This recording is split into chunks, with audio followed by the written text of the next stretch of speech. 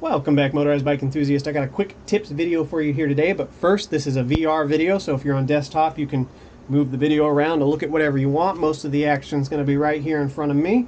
If you're on mobile you can swipe the screen or move the phone.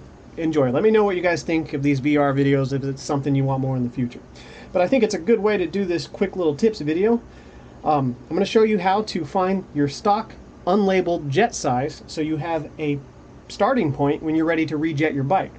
This is big because it will save you a lot of time when you rejet. Now, many different carburetors from different manufacturers will have completely different jet sizes. Don't go off of what you read online, test it yourself because I've found that carburetors which look absolutely identical to each other from different manufacturers have totally different jet sizes. I'm going to test two in this video, but it will work on pretty much any motorized bike carburetor. You don't need any measuring devices. You just need some sandpaper, some solder, and some known jets that are labeled. Okay, I use this thin solder here I got from Walmart. You can use the thick stuff in a pinch. It'll take a little longer to work with and is kind of finicky when you get into the really small jets, but it will work on the larger jet sizes. Alternatively, you could probably use a piece of copper wire. It'll take a lot longer to make the tool, but the tool will probably be more accurate and last quite a bit longer if this is something you find yourself doing quite often.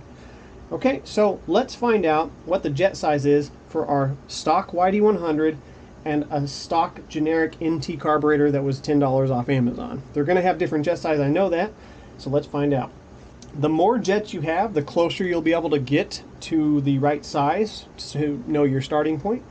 Um, but it's important that you have the jets that go up in increments of one. I'll leave a link in the description to where you can find these so you don't make the same mistake I did buying your first jet kit off of Amazon. These are five millimeter jets, they will work. Usually they're going to be way too rich. But the problem with most of Amazon's is that they go up in increments of 5, so 60, 65, 70, 75, so on and so forth. Whereas with these small motors that are really picky about having the right amount of fuel, you might have a bike that runs perfectly fine on a 68 jet but a 70 is way too rich and it runs like crap, and a 65 is too lean and you burn up your motor. So, enjoy. Anyways, to make your gauge, all you're going to do is take your sandpaper. I'm using 320 grit. Lay one piece on a table, hold the other in the palm of your hand, index with your thumb and your pointer. Go ahead and sandwich your solder. Apply light pressure, you don't need to go to town on this, and just pull, rotate, pull, it only took me about five minutes to make this. I already did it for the sake of the video. Just keep rotating it, keep pulling it.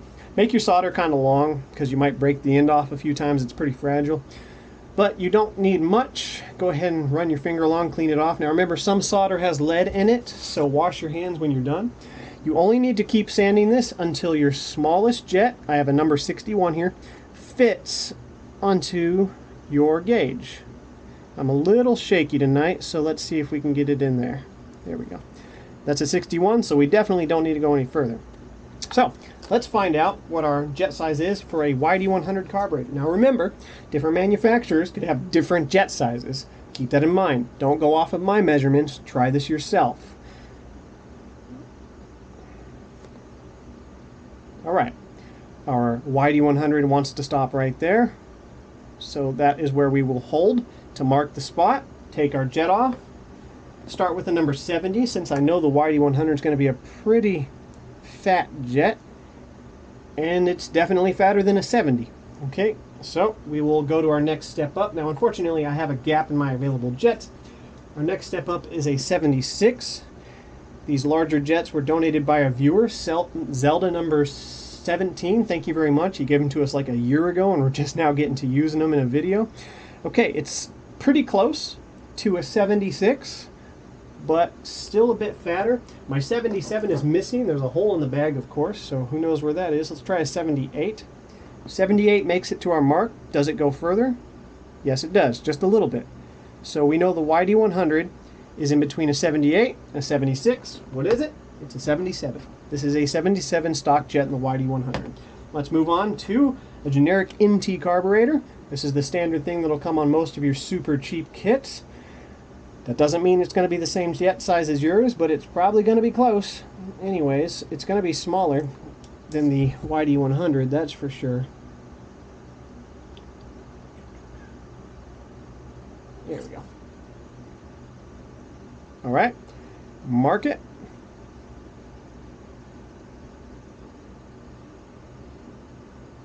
And let's start with a 65.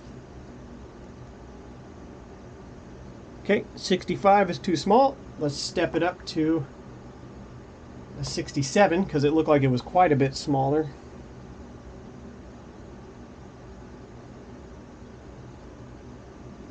Not much closer. Oh, hold on, I might be stuck. Okay, nope, that's close. Might be right on. So let's straighten our gauge and retest this 67 against the stock jet.